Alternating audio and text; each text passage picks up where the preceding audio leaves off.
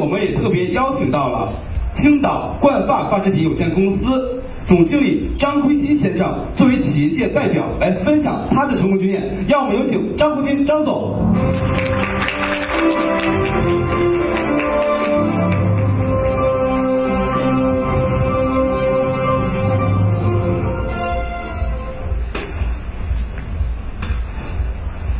尊敬的各位领导、李强总监、亲爱的同行朋友们，大家上午好！非常荣幸作为企业代表发言，在这里感谢中国电子商务协会信息化应用中心、中汽动力公司，又给我们企业提供了一次宝贵的交流和学习机会。虽然平时比较忙，但中汽动力公司举办的各种学习和交流机会，我都会亲自参加。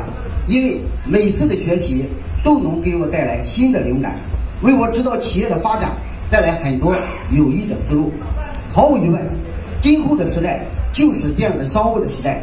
谁走在电子商务的前端，谁就会在今后的商战中占有主动权。思路决定出路，谁的电子商务意识高，谁就会优先站在制高点上，就拥有发展优先权。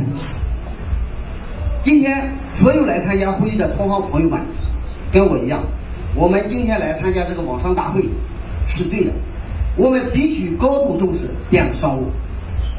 我公司成立于二零零六年，从成立之日起，我就定位做电子商务。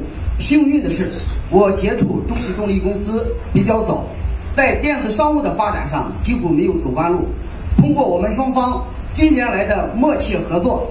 通过我公司短短几年取得的业绩，可以肯定我们双方建立的电子商务模式是非常成功的。从开始的外贸电子商务，到现在开发的国内假发商城，从建站到网络推广，一条龙全部委托中企动力公司进行运营。领先的技术实力和完善的运营服务体系。是中企动力信息化运营服务理念的强大支撑。中汽动力公司作为中国 IT 外包服务市场本土企业第一名，在国内开创了以运营模式实现企业信息化的先河。